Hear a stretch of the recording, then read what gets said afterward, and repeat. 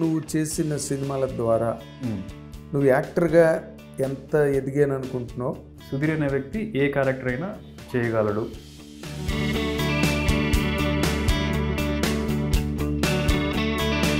కొంతమంది young heroes వాళ్ళు ఆ పంచి డైలాగులు రాయించుకోవడం లేకపోతే సీన్లు వాళ్ళకి కావలసినట్టుగా రాయించుకోవడం వాళ్ళు ఎలా ప్రజెంట్ చేసుకోవాలి మేము ఎలాగా ఆడియన్స్ ముందుకు వెళ్ళాలి అనే ఒక ప్రయత్నం కూడా కొంతమంది చేస్తున్నారు. నువ్వు అలాంటి వాటికి నువ్వు అవకాశం ఇవ్వా అంటే మనం కూర్చోబెట్టి రాసినప్పుడల్లా it's the chances are there won't be honesty in the writing నాకు మహేష్ కూడా నాకు పర్సనల్గా చెప్పకపోయినా మనం ఫాలో అవుతున్నప్పుడు చెప్తూ ఉంటాడు కదా. తను ఎప్పుడైనా సరే ఒక ఒక ఇలాంటి సినిమా చేయాలని చెప్పినప్పుడు అప్పుడు అందరూ ఆ- టైప్ ఆఫ్ క్యారెక్టర్స్ రాసి తీసుకొచ్చి చేశాడు. ఒకటి రెండు సార్లు ఒకటి రెండు సార్లు ట్రై చేశాను but those films didn't work నీ క్యారెక్టర్ స్ట్రాంగ్గా పెట్టుకుని తక్కువ కథనంతా కూడా నీ వెనకాతలు నడిపించే స్కీమ్ నీకు నచ్చదా? మనం ఎప్పుడైనా సరే యాక్టర్గా ప్రూవ్ చేసుకున్న తర్వాత ఏదైనా ట్రై చేసినా సరే ఓకే.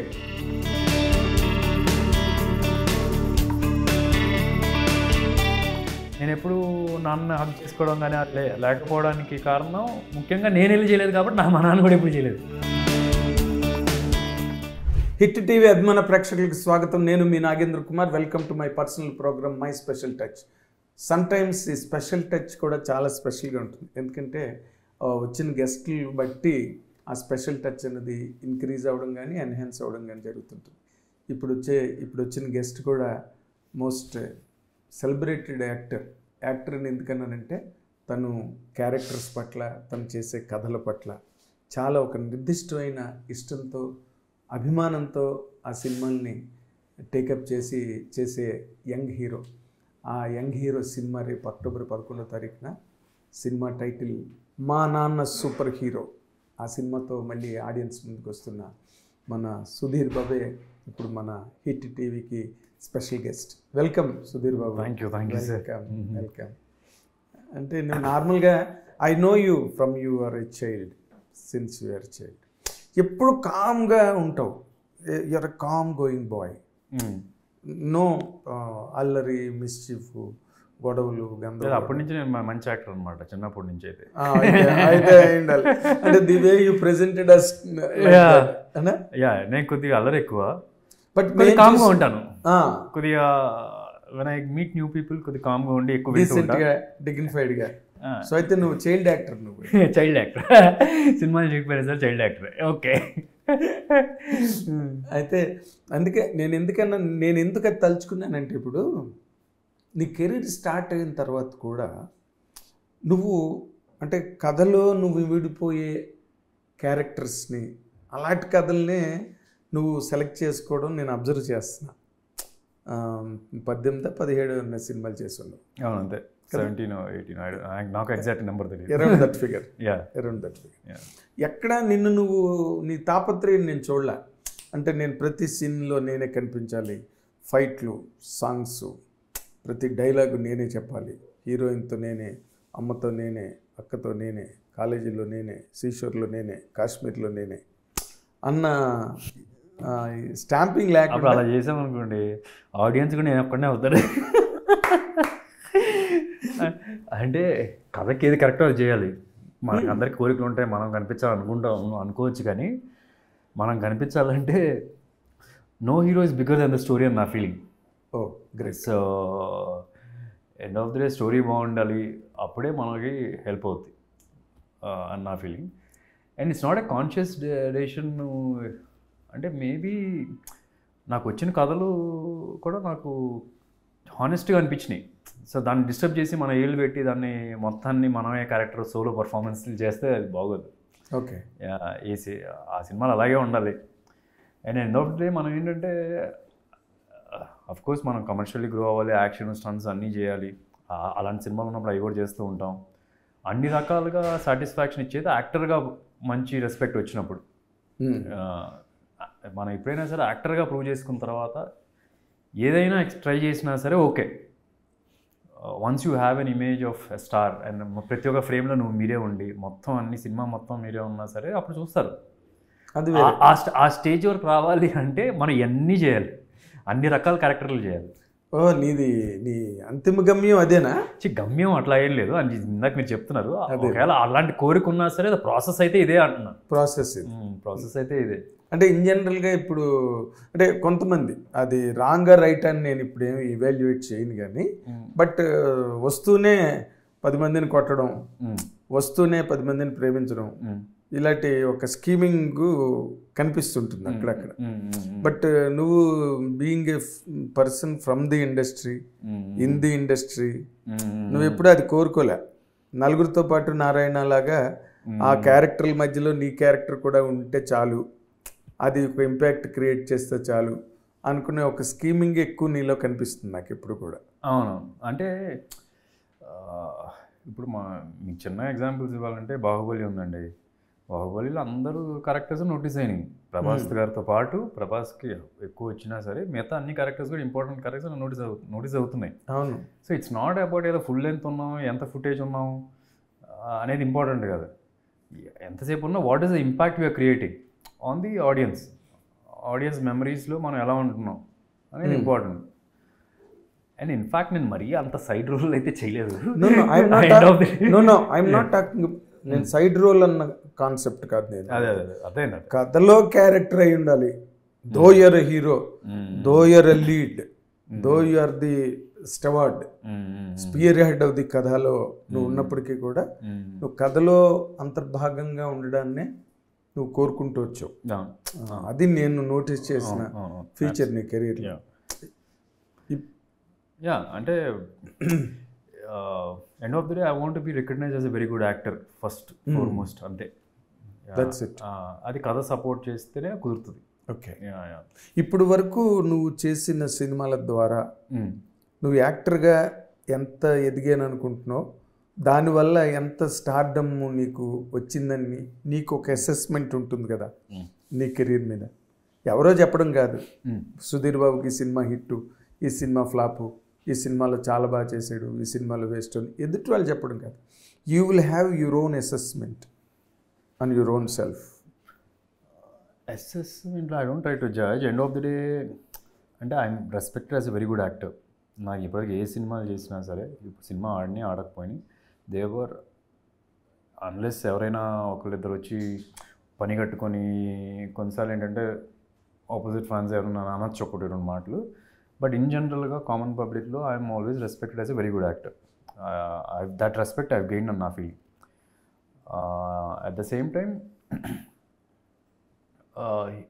సు- సుధీర్ అనే వ్యక్తి ఏ క్యారెక్టర్ అయినా చేయగలడు అన్న ఇంప్రెషన్ అయితే వచ్చింది. Uh, ఫర్ ఎగ్జాంపుల్ uh, మన హరోం హరా చేశాను పీపుల్ లైక్ మీ ఒక మాస్ కమర్షియల్ రోల్లో కూడా అది యాక్సెప్ట్ చేశారు. అది యాక్సెప్ట్ చేయడం అంత ఈజీ కాదు. Not every hero is versatile enough అన్న నా ఫీలింగ్ అది కుదరకపోవచ్చు. అంత యాక్షన్ చేసి చేయొచ్చు. ఇప్పుడు ఇలాంటి ఒక సినిమా చేయొచ్చు. మా నాన్న సూపర్ హీరో లాంటి సినిమా ఒక boy next door kind of role సమోనం kind of film చేయొచ్చు. భయపడుతున్నట్టుగా ప్రేమ కథ చిత్రంలో చేశాను. సో ఇలా అన్నీ కుదురు అందరికీ ఆ ఆపర్చునిటీ ఉండదన్న ఫీలింగ్ నాకు. కొందరు దేనో ఓకే ఇదైతేనే చూస్తారు ఆడియన్స్ అని చెప్పి అదే ఫిక్స్ అయిపోయి అదే చేస్తారు. They successful. They thing wrong. For me ఒకటే ఇంకో ఇంప్రెషన్ ఏంటంటే సుధీర్ అనే వ్యక్తి ఏ క్యారెక్టర్ అయినా చేయగలడు అన్న ఒక నమ్మకం అయితే డైరెక్టర్స్కి రా రైటర్స్కి అండ్ సేమ్ ఆడియన్స్కి ఉందని నేను అనుకుంటున్నాను ఓకే. ఓకే. దానివల్లనే ఇప్పుడు ఈరోజు ఇంత వర్సటైల్గా ఏదో నేను వెళ్ళి అరే రాయండి నా కోసం ఈ కథ లేకపోతే నా కోసం హమ హరుమరా లాంటి కథ రాయండి. అదే నా కోసం సో మనం సూపర్ హీరో లాంటి కథ రాయండి అని చెప్పింది ఎవరికీ లేదు. వాళ్ళే ఊహించుకున్నారు వాళ్ళు చేయగలరు అని ఒక నమ్మకం వచ్చింది. అండ్ ఇంకొక మెయిన్ అడ్వాంటేజ్ ఏంటంటే సుధీర్ చేస్తే కనుక దేర్ దేర్ ఆర్ కొందరు యాక్టర్స్ ఏంటంటే కెమెరా కోసం యాక్ట్ చేస్తారు. That is also right in a certain way camera కోసం యాక్ట్ చేస్తే ఆడియన్స్కి ఫాస్టర్ కనెక్ట్ అవ్వచ్చు కొన్నిసార్లు. కానీ కెమెరా కోసం యాక్ట్ చేయకుండా క్యారెక్టర్ని బిలీవ్ చేసి క్యారెక్టర్తో పాటు లేదు ఇంపార్టెంట్ అని నాకు ఎందుకంటే దానివల్ల ఏంటంటే writers directors will be very happy with me ఎందుకంటే వాళ్ళ కథకి ఒక హీరో లాగా సపరేట్గా నేను కనిపించకూడదు వాళ్ళ వాళ్ళ క్యారెక్టర్లు కనిపించాలి. అప్పుడు they it's they have a better satisfaction కొన్నిసార్లు ఏంటంటే యాక్టర్ బాగా డామినేట్ చేసేసి చేసి పర్ఫార్మెన్స్ చేసి ఆ సినిమాని ఇంకో ప్లస్ కూడా but my always way of ఒక క్యారెక్టర్ని రీచ్ అయ్యేది మాత్రం I just want to be look character లానే చేయాలి అని. ఇప్పుడు ఫర్ ఎగ్జాంపుల్ ఈ ఇదే సినిమాని కొద్ది లౌడ్గా కూడా చేయొచ్చు నేను. ఇదే పర్ఫార్మెన్స్ కొద్ది లౌడ్గా కూడా చేయొచ్చు. కొద్ది హెవీగా చేయొచ్చు. But I don't want Sudheer అనే వ్యక్తి కనిపించకూడదు బికాస్ ఐ అండర్స్టాండ్ డైరెక్టర్ ఏంటంటే ఇలాగా చేయాలి అన్న ఒక ఉంది. అతను రాసుకున్నప్పుడు ఐ గెట్ దట్ సెన్స్ ఎలాంటి క్యారెక్టర్ ఇతను రా అని చేసేది. బేసికల్ ఏం చెప్పాలంటే ఇప్పుడు ఇదే క్యారెక్టర్ని వంద రకాలుగా చేయొచ్చు ఆ వంద రకాలుగా correct so it's about choosing the right one what you feel is right and I always choose what is right based on what the director wants అని ఐ ఫీల్ ఓకే సో అందుకని they prefer writing new new characters to me అని feeling వస్తుంది నాకు. అంటే నువ్వు ఆ provision వాళ్ళకి ఇవ్వడం ద్వారా. అవును. అవును.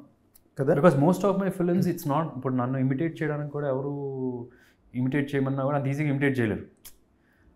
Because I done versatile characters and it's always the characters that ఎక్కువ కనిపిస్తూ ఉంటుంది. ఇప్పుడు సమోనం చేసినప్పుడు విజయ్ అనే క్యారెక్టర్ కానీ లేకపోతే సుబ్రహ్మణ్యం క్యారెక్టర్ హరోమరా క్యారెక్టర్ కానీ ఇట్స్ క్వైట్ ఆపోజిట్ అని ఆ క్యారెక్టర్లో కనిపిస్తున్నాయి. It's not about me yes అది ఫార్చునేట్ ఎగ్జాక్ట్ అంటే నువ్వు రైటర్ నీకు అంటే నార్మల్గా అదొక ట్రెండ్ కూడా నడుస్తుంది. ఇందాక నేను చెప్పిన ట్రెండ్ అయితే ఇది ఇప్పుడు ఇంకో ట్రెండ్ ఏంటంటే రైటర్ని పక్కన కూర్చోబెట్టుకోవడం కొంతమంది యంగ్ హీరోస్ వాళ్ళు ఆ పంచి డైలాగులు రాయించుకోవడం లేకపోతే సీన్లు వాళ్ళకి కావలసినట్టుగా రాయించుకోవడం వాళ్ళు ఎలా ప్రజెంట్ చేసుకోవాలి మేము ఎలాగా ఆడియన్స్ ముందుకు వెళ్ళాలి అనే ఒక ప్రయత్నం కూడా కొంతమంది చేస్తున్నారు. నువ్వు అలాంటి వాటికి నువ్వు అవకాశం ఇవ్వవా? అసలు నేను ఎప్పుడు అట్లా చేయను. అంటే దానిలో హానెస్టీ ఉండదని ఒక నా ఫీలింగ్ నాకు. ఏంటంటే ఒక రైటర్ అనే వ్యక్తి మైండ్లో ఎవరిని పెట్టుకొని ఆ క్యారెక్టర్ ఎలా బిహేవ్ చేస్తా హానెస్ట్గా రాసేయాలి. రాసిన తర్వాత అది ఎవరికి సూట్ అవుద్ది అని చెప్పి రావాలే కానీ ఇప్పుడు మనం కూర్చోబెట్టి "ఆ, ఇతనికి రాయాలి అన్నప్పుడు "ఆ, ఇతను ఫైట్లు చేస్తాడు ఇప్పుడు ఇప్పుడు ఫైట్ సిచ్యువేషన్ క్రియేట్ చేద్దాం. ఇది ఈ డైలాగ్ ఇతను మేనరిజమ్స్కి ఇది బాగుంటుందని ఈ డైలాగ్ రాయడం. అది కరెక్ట్ కాదని ఒక హానెస్టీ ఉండదు ఆ కథలో. అలా దగ్గరుండి రాయించుకునే కథ and I observed lot of people going wrong అంటే నాకు మహేష్ కూడా నాకు పర్సనల్గా చెప్పకపోయినా మనం ఫాలో అవుతున్నప్పుడు చెప్తూ ఉంటాడు కదా తను ఎప్పుడైనా సరే ఒక ఒక ఇలాంటి సినిమా చేయాలని చెప్పినప్పుడు అప్పుడు అందరూ ఆ- టైప్ ఆఫ్ క్యారెక్టర్స్ రాసి తీసుకొచ్చి చేశాడు. ఒకటి రెండు సార్లు ఒకటి రెండు సార్లు ట్రై చేశాను but those films didn't work it's only that తనకు వచ్చిన దానిలో ఒకటి చూస్ చేసుకుంటే అతనికి విన్న కథల్లో ఒకటి చూస్ చేసుకుంటే అవి వర్క్ అయినాయి బాగా అని సో ఇట్స్ ఆల్వేస్ బెటర్ వాళ్ళు రాయాలి ఫ్రీడమ్ ఫ్రీగా ఫ్రీ మైండ్తో రైటర్స్ డైరెక్టర్స్ రాయాలి. దానిలో మనం వెళ్ళాలి. అంతే మనం కూర్చోబెట్టి రాసినప్పుడల్లా it's the chances are there won't be honesty in the writing ఎందుకంటే ఇప్పుడు పలానా వ్యక్తి కోసం రాస్తున్నప్పుడు ఒక ఇతను ఇతను ఇవన్నీ గుడ్డు ఇతను ఇది చెప్తే ఇంప్రెస్ అవుతాడు అని ఆ ఫార్మాట్లోకి వచ్చేస్తుంది కరెక్ట్. ఇంకా అందరూ అదే మొదలెడతారు. అవును. అప్పుడు ఆర్గానిక్గా ఒకటి రెండు. సార్లు వర్కౌట్ అయినా మరీ అన్నిసార్లు అయితే వర్కౌట్ మ్మ్. అంటే ఇప్పుడు ఫర్ ఎగ్జాంపుల్ ఇప్పుడు మా నాన్న సూపర్ హీరో కథని నువ్వు సెలెక్ట్ చేసుకున్నావు మీ ట్రైలరు. ఇవాళ థియేటర్లో కూడా నీది వేశారు. చాలా బాగుంది మంచి రెస్పాన్స్ వచ్చింది.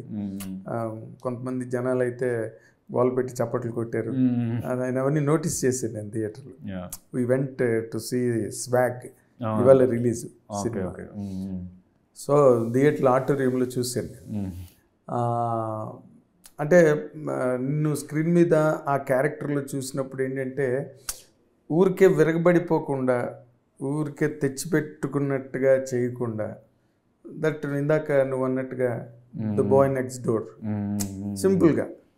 కథ క్యారీ చేస్తే నువ్వు సక్సెస్ అవుతావు.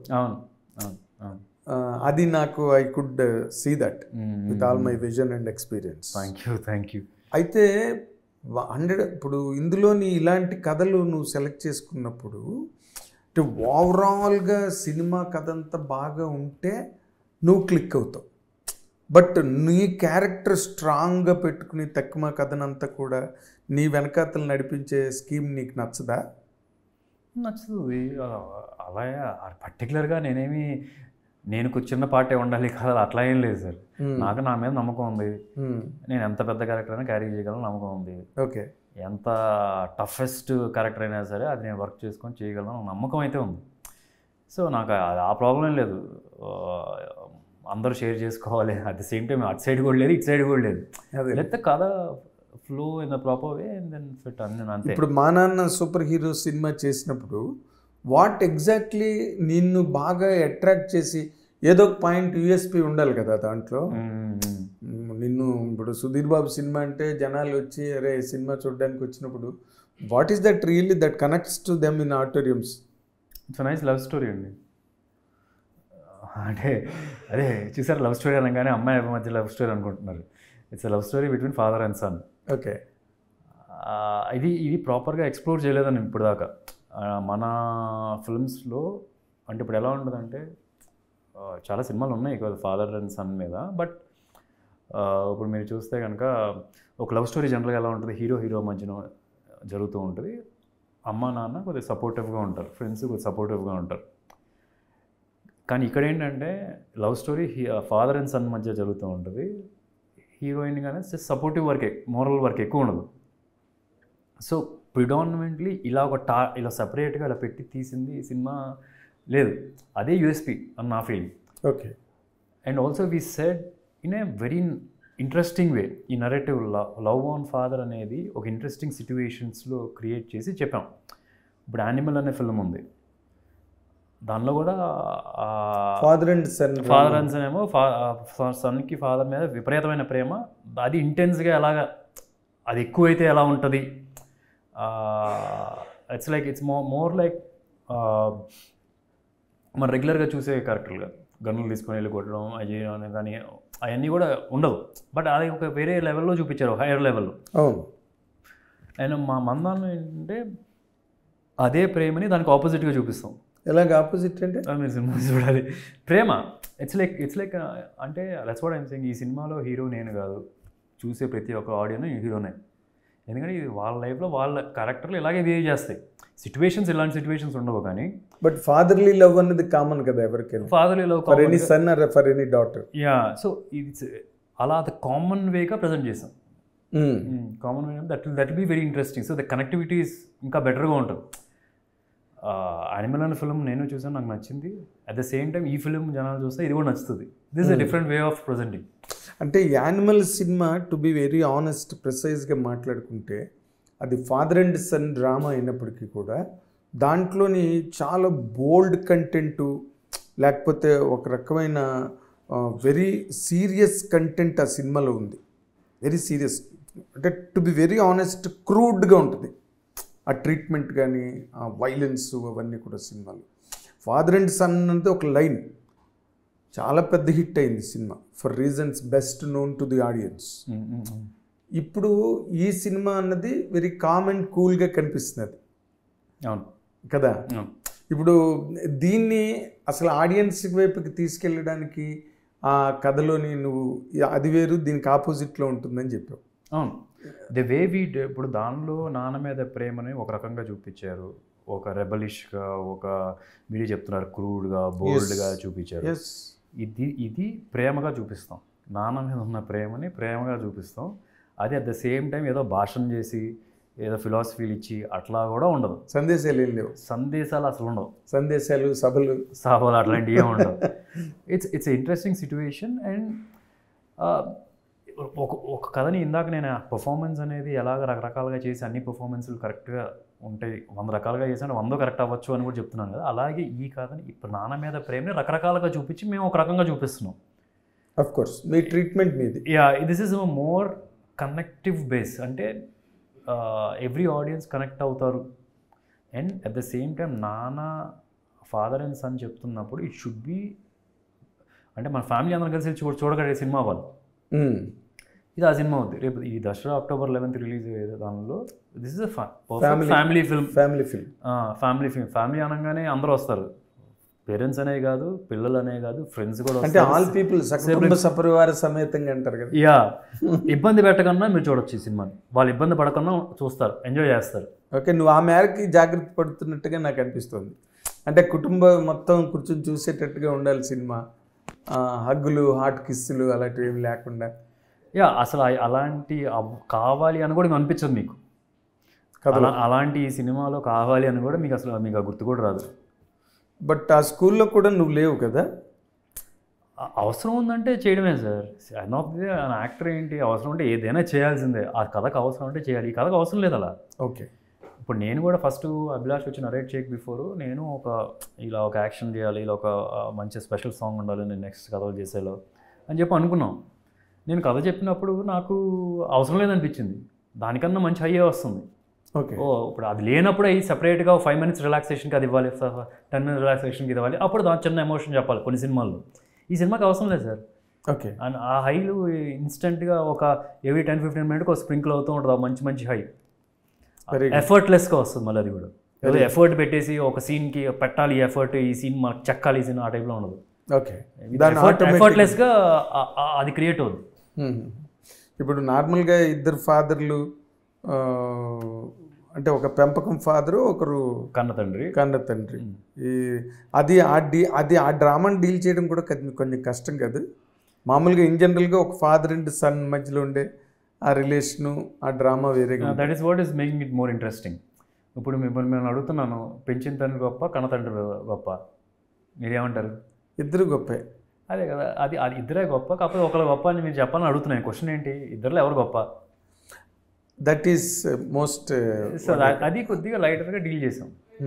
కానీ ఆ మంచి పాయింట్ సిచ్యువేషన్ ఆ సిచ్యువేషన్స్ సెపరేట్గా ఉంటాయి. అంటే సిచ్యువేషన్స్ ఆఫ్ సేయింగ్ దిస్ లాస్ట్కి వచ్చేప్పుడు అదే వస్తుంది ఆ పాయింట్కి సిచ్యువేషన్స్ వచ్చేది ఇప్పుడు కుర్రోడికి వాళ్ళ నానంటే ప్రేమ పెంచిన నానంటే పెంచిన నాన్న పెద్దగా అంటే పెద్ద ప్రేమ లేదు కానీ మంచి మంచి వ్యక్తే కానీ ఇతనంతా పెద్ద ప్రేమ లేదు. పెంచాడు కానీ. పెంచాడు. వేరే కన్న తండ్రి ఏమో కొడుకు దూరంగా ఉంటాడు. కొడుకు మీద విపరీతమైన ప్రేమ. పెంచిన తండ్రికి మంచి చేయాలి అంటే కన్న తండ్రి అడ్డు ఉంటాడు ఇప్పుడు ఇక్కడ. ఓహో. అలాంటి సినారియోలో. లవ్ కాన్ఫ్లిక్ట్ అలాంటి కాన్ఫ్లిక్ట్ ప్లేస్లో కథ చెప్పడానికి ట్రై చేసాం ఓకే ఓకే. ఇప్పుడు నార్మల్గా సన్కి ఫాదర్కి ఉండే రిలేషన్ వేరు డాటర్కి ఫాదర్కి ఉండే రిలేషన్స్ వేరు. ఇద్దరు చిల్డ్రనే అయినప్పటికీ కూడా. నీకు ఏది more what call more connecting అనిపిస్తుంది సుధీర్? అంటే నాన్న పట్ల డాటర్కి ఉండే ప్రేమ లేకపోతే కొడుకుకి ఉండే ప్రేమ? నాన్న డాటర్ అని అంతేనా? మా అక్క మా నాన్నగారికి ఉన్న కనెక్షను మా నాన్నగారికి మా అక్క మీద మా మా నాన్నకి మా అక్క అంటే ఉన్న ప్రేమ. నాకు అప్పుడప్పుడు అనిపిస్తుంది నేను అంటే అంత ఇష్టం లేదు అనిపిస్తూ ఉంటుంది. But it is just a way of expression ఇప్పుడు నాన్న నేను మాట్లాడుకున్నప్పుడు అంత ఎక్స్ప్రెసివ్గా మాట్లాడుకోం. అంటే ఇద్దరికి ప్రేమ ఉంటుంది. ఇద్దరు ఇలా చూసుకున్న వెంటనే ఒక చిన్న స్మైల్ వస్తుంది ఇద్దరు ఫేసుల మీద. ఇద్దరికి అంత లవ్ ఉందని తెలుసు. కానీ అక్కడ ఏంటంటే చాలా ఎక్స్ప్రెసివ్ జనరల్గా లేడీస్ చాలా very expressive yes very express uh expressive అప్పుడు అక్క కూడా అంత ఎక్స్ప్రెసివ్గా ఉన్నప్పుడు నాన్న కూడా అక్కడ ఎక్స్ప్రెసివ్గా ఉంటారు. అవును ఉండి తీరాలి. ఉండి తీరాలని లేదు జనరల్గా. ఆటోమేటిక్గా వచ్చేస్తుంది. ఎస్ ఆటోమేటిక్గా వస్తుంది. ఇప్పుడు మన మన దగ్గర ఏంటంటే మన అంత ఎక్స్ప్రెసివ్ చెప్పినప్పుడు నాన్న కూడా అంత ఎక్స్ప్రెసివ్గా ఉండరు. ఎప్పుడైనా పెద్దవాళ్ళు they want take an extra effort to come after growing ఒక ఏజ్ అయితే వచ్చినప్పుడు they want take an extra effort జనరల్గా it's from the kids it comes అది రెసిప్రోకేట్ దట్స్ ఇట్ సో మా నాన్నగారు నేను ఎప్పుడు నాన్న హక్ చేసుకోవడం కానీ అది లేకపోవడానికి కారణం ముఖ్యంగా నేను వెళ్ళి చేయలేదు కాబట్టి నా మా నాన్న కూడా ఎప్పుడు చేయలేదు. ఓకే నేను ఎప్పుడు హక్ చేసుకున్నాను కాబట్టి లవ్ అనేది common sir common it's not required to say physically also but sometimes you would అంటే కొన్నిసార్లు మనకి ఫిజికల్గా ఉన్నా బాగుంటుంది కదా అనిపిస్తూ ఉంటుంది అప్పుడప్పుడు.